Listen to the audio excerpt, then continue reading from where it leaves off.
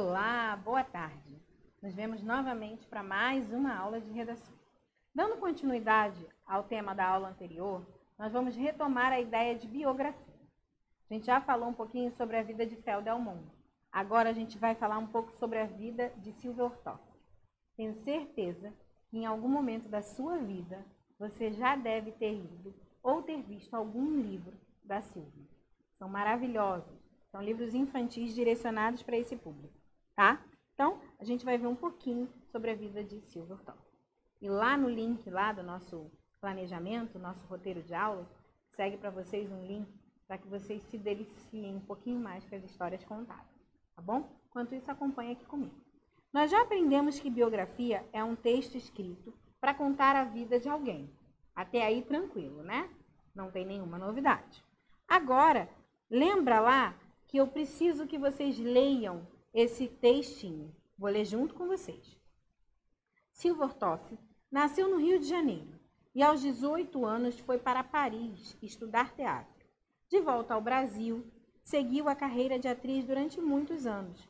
Foi professora de teatro da Universidade de Brasília e coordenadora do Teatro do SESI. Seu nome é lembrado como um dos mais importantes no teatro infantil brasileiro. A partir de 1981, a convite de Ruth Rocha, também são livros maravilhosos, começou a escrever para a revista Recreio, tornando-se colaboradora no setor de histórias infantis. A partir de então, escreveu mais de 80 livros, atividade que lhe rendeu, lhe rendeu reconhecimento dentro e fora do país. Recebeu inúmeros prêmios de teatro e literatura ao longo da vida. Silvia é lembrada como um dos principais nomes da literatura e do teatro infantil brasileiro. E aí, agora eu vou deixar para vocês que ao invés de trocarem ideias comigo, vocês vão responder aí, no livro de vocês, no cantinho, lá embaixo, tá? Ou no caderno, quem desejar ter mais organização. Quantos anos viveu Silvia? Quais foram as profissões que ela já exerceu?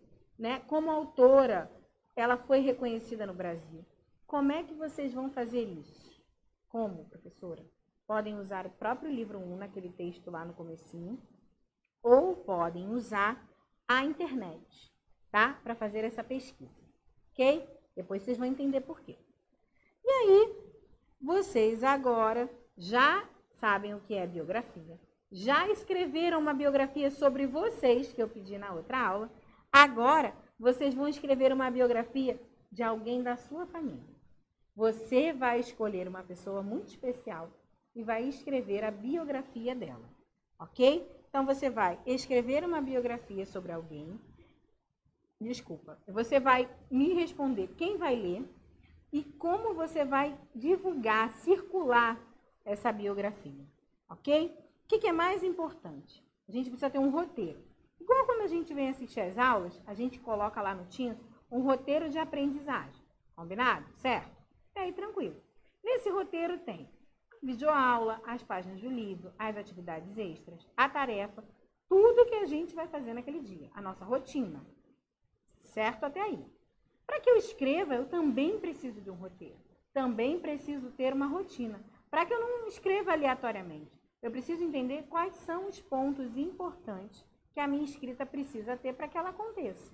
Então tá aí, ó, um roteirinho. Vocês vão primeiro perguntar, questionar lá, ó, quem é da sua família que tem uma história interessante, né? Onde e quando essa pessoa nasceu? Quais são os pais? Quem são, né, os pais dela? Tem irmãos? Quantos são? Qual é a profissão dessa pessoa? O que ela gosta de fazer? Como é que ela começou a exercer esse trabalho? Se tem alguém que levou, que a inspirou a isso, enfim. Vocês vão responder essas perguntas. Depois, vocês vão organizar essas perguntas em forma de um texto biográfico, uma biografia dessa pessoa. Pode ter foto? Pode. Pode ter desenho? Pode. Sem problema nenhum. Professora, como esse texto vai chegar até você? Vocês vão tirar uma foto e vão me enviar a foto desse texto via Class App, ok? Lembrando, isso é uma atividade diversificada. Então, entra lá nos nossos pontinhos de atividade de redação que vocês precisam me entregar para fazer a composição de nota. Então, ó, é muito importante que vocês façam e me enviem. Não deixem de fazer não. escrever é muito importante, tanto para aprimorar a escrita, como para melhorar a cabeça e a forma como a gente retém informação. Então tá aí a atividade. Vocês vão fazer direitinho a atividade, tá bom? E vão me entregar. Depois que vocês me enviarem, vocês vão autoavaliar o texto de vocês. Se vocês organizaram bem, se vocês apresentaram dados pessoais, se foi coisa bacana, foi coisa importante, se foi relevante o que ela fez da vida profissional, se os fatos também seguiram uma ordem cronológica, porque a gente já aprendeu que o cronograma, né, quando, o começo, o meio e o fim, precisa também estar na biografia. Se você seguiu tudo isso, bacana, carinha feliz. Se foi mais ou menos, a carinha que não sabe o que diz. Ok? Então, gente, aproveitem. Aproveitem o tempo, escolham uma pessoa que vocês queiram muito homenagear, façam um trabalho lindo e me enviem só a cópia, a fotinho. Tá bom? Um beijo, até a próxima!